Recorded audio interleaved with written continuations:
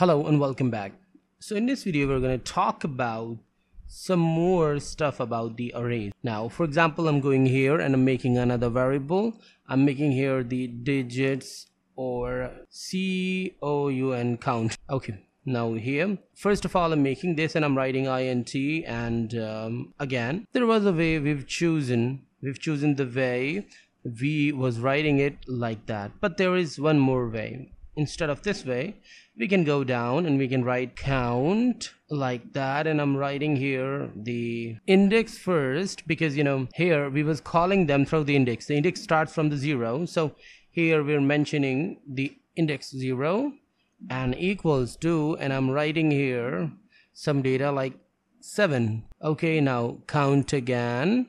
And index 1 just another method I'm telling here. Here I'm writing 9 and count again and here 2 and I'm writing here 82 okay. Count again in here 3 and equal to and I'm writing 78 just to show you the example. So this is the way we can do that too. Okay. This is just to make sure that we're uh, going with the right way but I'm not putting anything here. We're putting everything outside. Anyway here I'm writing fmt.println and here I'm writing count and saving it. Now I'm, I just need to go here and check the result and the results are officially 7 9 82 78 and 0 why 0 because we've written 5 here. Okay that's cool. There is one more way. For example you do not know the size of the raw um, the array while we're writing so we can use an operator. Instead of this one if I delete that I can put point point and point. Three times period actually makes a raw competent saving and I'm going here and testing this up. Out of bond. Oh actually you know here we're using the 0 1 2 3 b. So we are actually using the numbers. So we have to know the digit but here we're not using the index. We can use this. And i'm going there and testing this up again.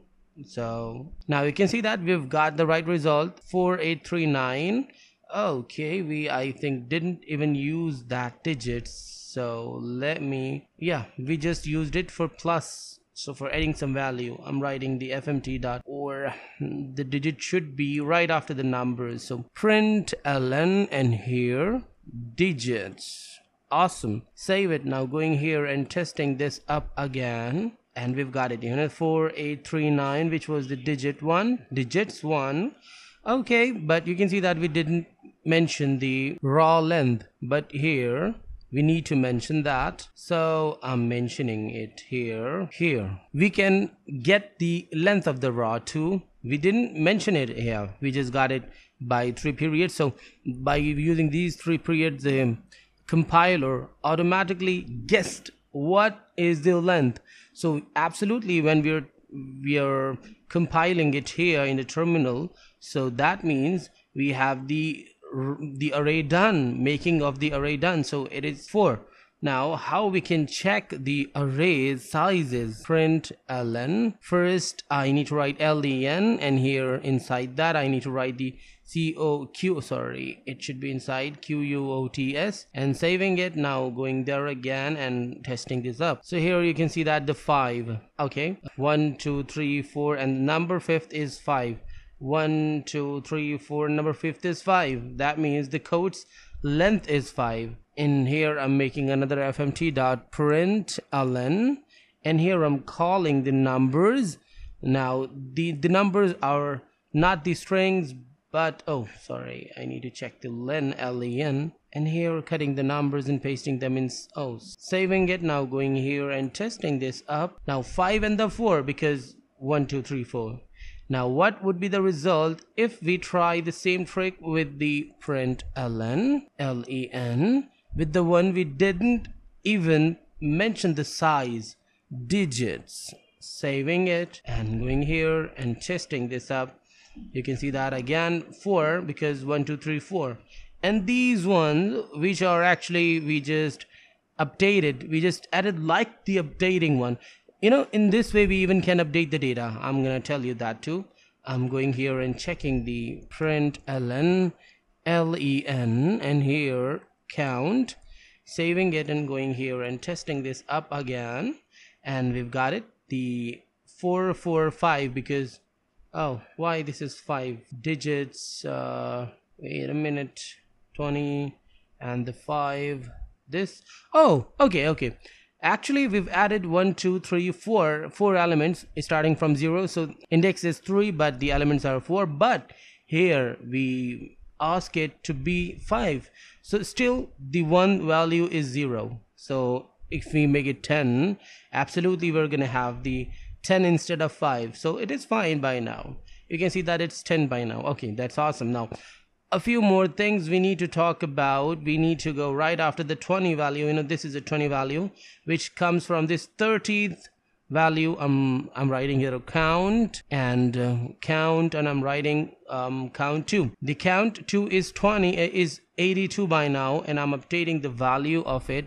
I'm writing here uh, 69 and i'm printing it again fmt.print ln just showing you that we even can update it later too and saving it now here. I'm testing this up. Now you can see that previously it is 82 but then when we called it again it is 69 even if we call the whole raw the whole array count and save it and now i'm going here and yeah 79 82 87 79 69 78 and the other numbers are because we just mentioned it the 10 here so now it's it is consist of 10 elements. One more interesting thing when it comes to the arrays if i just oh sorry if i just go here and i make it because i've only added four values i'm writing four here and uh, i'm making another raw here var and it is a making count. One. Okay. And uh,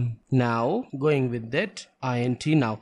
I can choose anyway and I'm going with this one. And here I'm writing 4987 okay. That's awesome. This is all we need to do. Oh I did some mistake. Okay. I need to add this thing and all good. Okay. Anyway we didn't use that so there it is having the problem. But I'm going down right here after everything here I'm writing fmt.println and here we're calling digits equals to count saving it. What is the meaning of that? Count one actually saving. Now what is the meaning of that? We are comparing two arrays. I'm going here and i'm testing this up and we we've got false. Why we've got false? Because if we go look the digits and the count one the digits are 4839 the count one is 4987 okay? So absolutely the values are not comparative to each other so it is false. But if i just go here and i write fmt.println again here if i write numbers equals to count one saving it going there back the count one and numbers okay i'm going here and testing this up again. The true because uh, if I go here looking the number is 4987 and the count one is 4987 so it they are true. In the other hand if I try to just compare the count and count one absolutely they're different in values. So just showing you that I'm gonna have false but I'm just showing you that how it works. Because of the different ways we design the raws still we can compare them. Count count one saving and i'm going here and testing this up. Okay you can see that the false so anyway in the next video we're gonna talk about the multidimensional arrays. So till then stay tuned and goodbye